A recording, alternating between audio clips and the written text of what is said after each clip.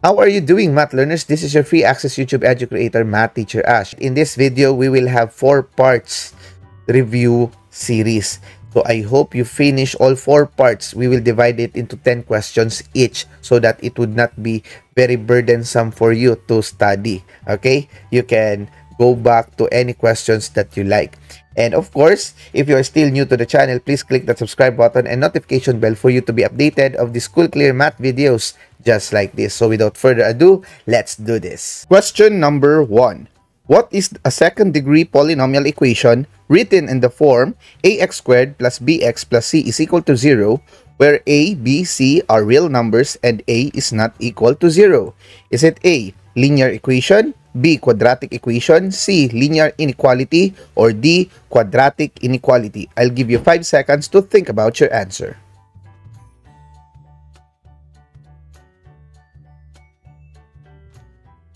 Okay, math learners, this question is very, very easy because this is the definition of a certain equation. Now, if we are talking about second degree, then that is what we call letter D quadratic equation. Now, let's see whether we are correct. Alright, now let us go to question number 2. Which of the following is not a quadratic equation?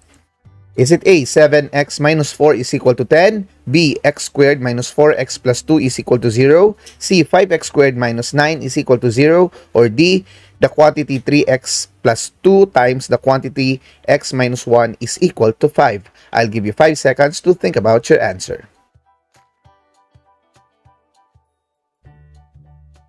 Okay, my dear math learners, we already know that quadratic equation is in the second degree equation. So, in order to answer this question, we will be checking which among the given choices has a second degree. And if we've found something with a second degree, then that is not the right answer for our question since what is asked here is not a quadratic equation. So letter B and letter C is obviously not the answer. However, letter A and letter D, we don't see any power of 2. But in letter D, if we simplify the two binomials, when multiplied together, it will result to a second degree equation. Therefore, A is the correct answer for this question. Let's see whether we are correct. Easy, right? Now, let us go to question number 3. What is the constant term of the quantity x minus 3 times 3x plus 2 is equal to 8? Is it A, 8, B, negative 6, C, negative 14, or letter D, negative 22? I'll give you 5 seconds to think about your answer. Okay, my dear math learners, for this question, we will be simplifying the two given binomials by multiplying them using the FOIL method. So how do we do that? Alright, so in this case, we will multiply x to 3x. That will give us 3x squared. Then we multiply it to this one, x times positive 2. That will be positive 2x. And then negative 3 multiplied to 3x, that would be negative 9x. And then when we multiply negative 3 to positive 2, that will give us negative 6. However, the equal here is still 8. What is asked in the problem is the constant term. We still have two constant terms in this given equation. Therefore, we will transpose this value of 8 to the other side of the equation so that we can combine like terms. So what we will do now is to transpose this positive 8 to this side of the equation, giving us negative 6 minus 8. And if we simplify this one, so negative 6 minus 8, that would be negative 14. Therefore, our constant term is negative 14. Letter C. Let's check whether we are correct.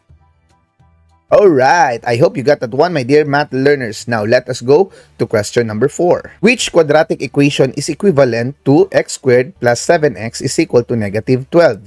Is it A, the quantity x plus 3 times the quantity x plus 4, B, the quantity x minus 3 times the quantity x minus 4, C, x plus 3, the quantity x plus 3 times the quantity x minus 4 equals 0 or letter D, the quantity x minus 3 times the quantity x plus 4 is equal to 0. I'll give you 5 seconds to think about your answer.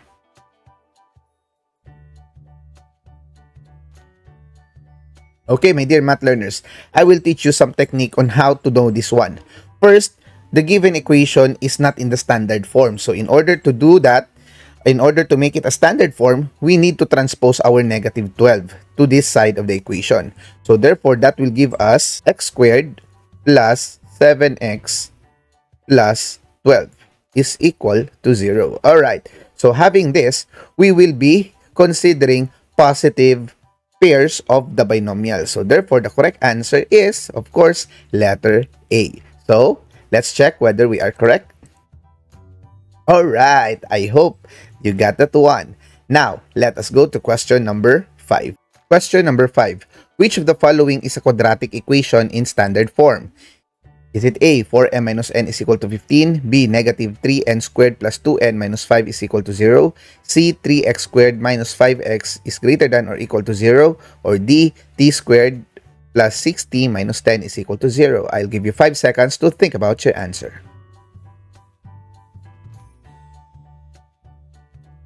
Alright, my dear math learners, as we can see among the four choices, there are only two that are considered to be a quadratic equation. That is letter B and letter D. Now, if that is the case, my dear math learners, in order for us to know which among these two is the standard form, then what we need to do is consider the value of A, which is the numerical coefficient of the quadratic term. So, in letter B, the numerical coefficient of the quadratic term is negative 3, while in letter D, since we don't see anything, that is automatically positive 1. Now, in the context of standard form, it is evident that the value of your A is greater than 0, meaning it is positive. So therefore, the correct answer for this question is letter D. Let's check whether we are correct. Alright, my dear math learners. Now, let us go to question number 6, which represents a quadratic equation. Is it A, 2 over x plus 3 is equal to x? B, x squared plus 4x minus 7 is equal to 0? C, the square root of x plus 2x is equal to 5? Or D, the quantity x plus 1 divided by or over the quantity x minus 2 is equal to 3? I'll give you 5 seconds to think about your answer.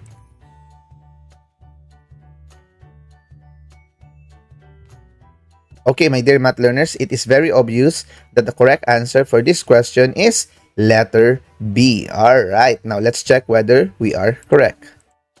Okay, I hope you got that one, my dear math learners. Now let us go to question number 7.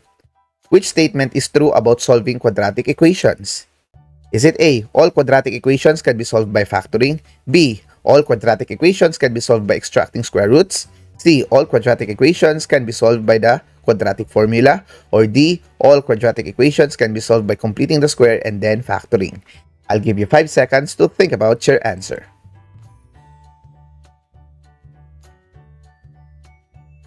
Okay, my dear math learners, in solving quadratic equations, if you have read the book about mathematics and specifically the subject or listened to your teachers, there are four commonly methods used in solving quadratic equations.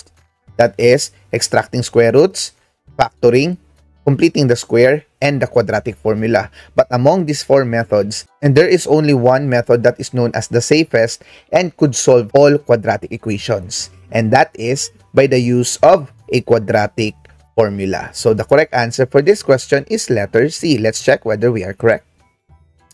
Alright, my dear math learners. Now let us go to question number 8. If the quantity x plus 3 squared is equal to 4 is written in standard form, what is the value of b?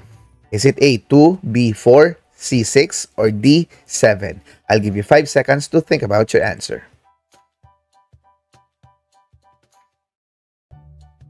Okay, my dear math learners, in answering this question, basically, the value of 4 or the value 4 here is not important because this is a constant term. What matters here is this one. When we expand x plus 3 to the power of 2 because if we expand this one, we will have our linear term in which we can find the value of b. Alright, so how do we do this one? So of course, that is x plus 3 expounded. That would be x plus 3.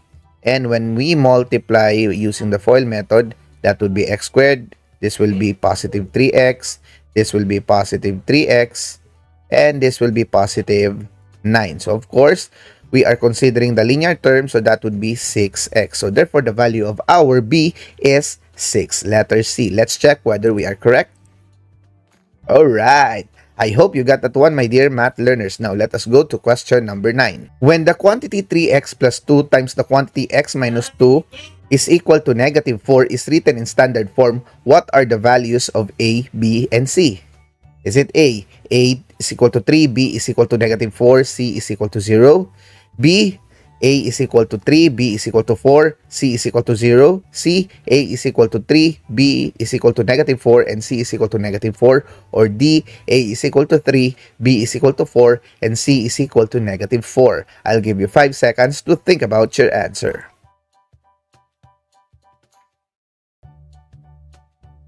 Okay, my dear math learners, so now we will be finishing our standard form. So what we will do is we will apply the FOIL method in this part. Okay, so that would be this one, 3x times x, that will be 3x squared.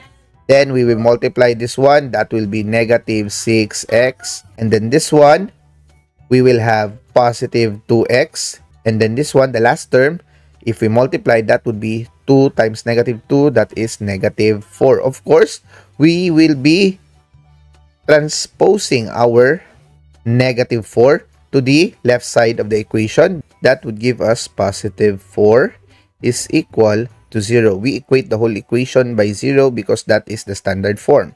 Now, we will be combining like terms after this process. Okay, so now we will be copying the 3x squared and then we simplify negative 6x plus 2x, that would be negative 4x. And then when we add negative 4 plus 4, that would be 0. So there is no need to write it down. So we just equate it to 0. So therefore, the value for our c would be 0, the value for our b would be negative 4, and the value of our a would be 3 and that is in letter all right letter a so let's check whether we are correct my dear math learners Alright, I hope you got that one. Now, let us go to question number 10. If A is equal to 1, B is equal to negative 3, and C is equal to 10, what is the quadratic equation in standard form? Is it A, x squared minus 3x plus 10, B, negative x squared minus 3x is equal to 10, C, x squared minus 3x is equal to 10, or D, negative x squared minus 3x plus 10 is equal to 0? I'll give you 5 seconds to think about your answer.